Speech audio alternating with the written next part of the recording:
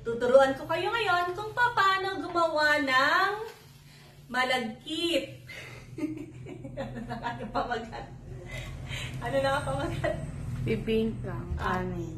Mga.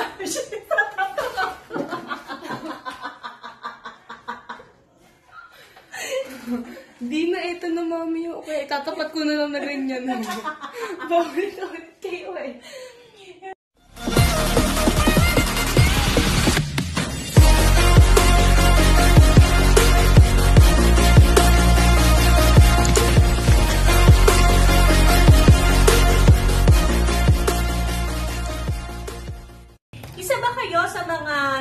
nahihirapan mag-isip ng mga pwedeng ipamerienda sa ating mga anak?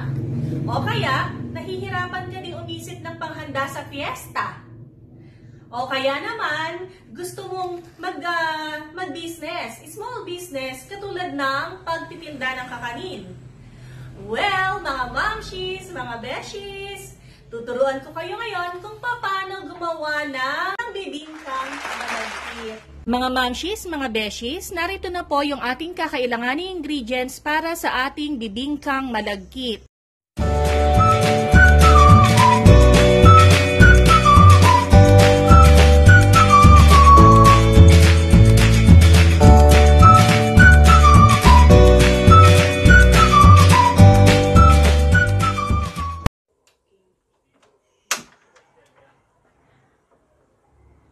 Nating ilagay ang 2 cups coconut milk para doon sa latik sa ibabaw ng bibingka.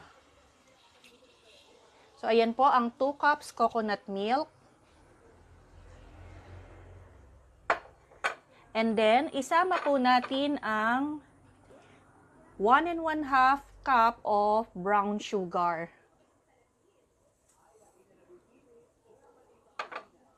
Ayan. Hahaluin lang po natin yan hanggang sa lumapot ang ating latik para sa ibabaw ng ating bibingkang malagkit.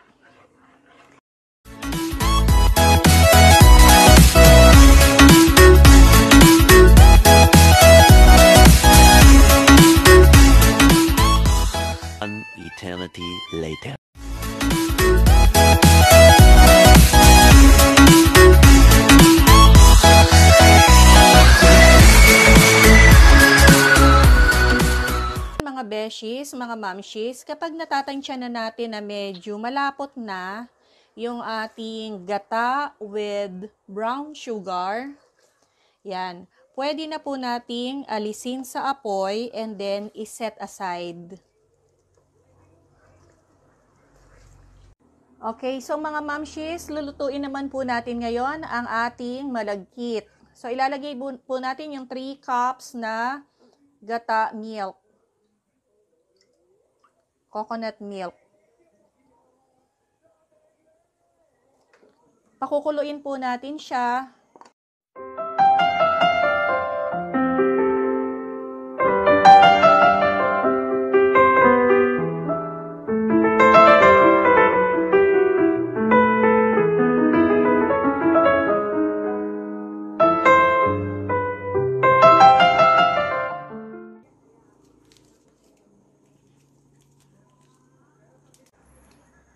Isama na po natin yung ating dahon ng pandan dahil yan yung magdadagdag ng lasa sa ating bibingkang malagkit.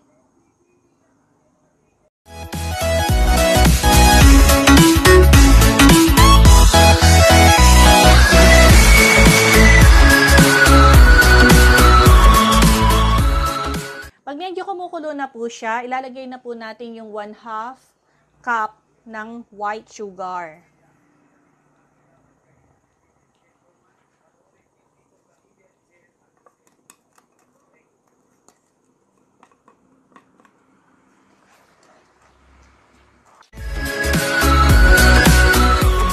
Then, isunod po natin yung ating 2 cups ng malagkit.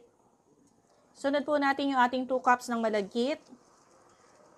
Dito po natin siya iluluto sa gata with sugar.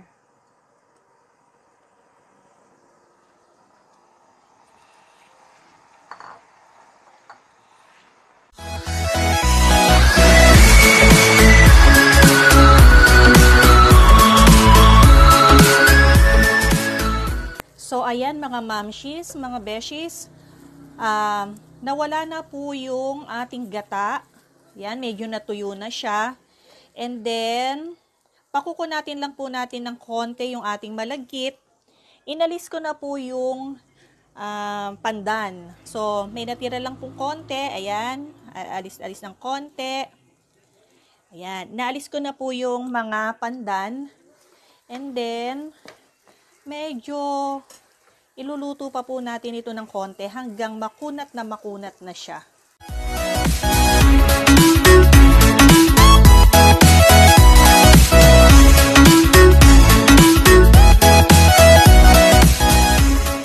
Distribute po siya. Yan, naka-flat.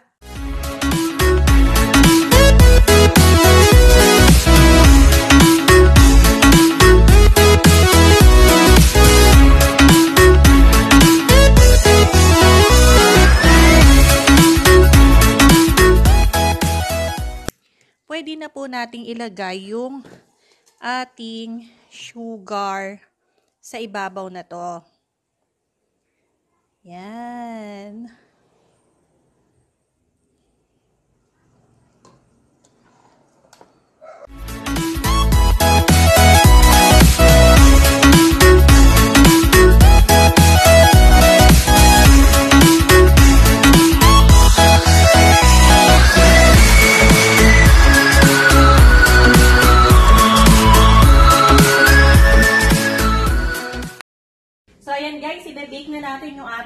Bibingkang malagkit sa ating oven.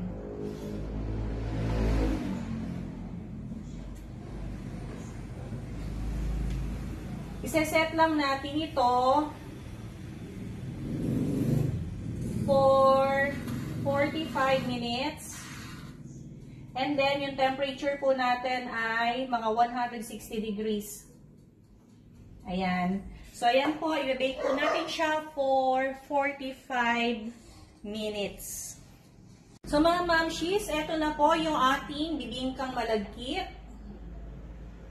Ayan, after 45 minutes na ating nilagay sa oven, makikita nyo na nagka-flatten na yung ibabaw niya. So, pag nag-flatten na, pwede na siyang kuhanin.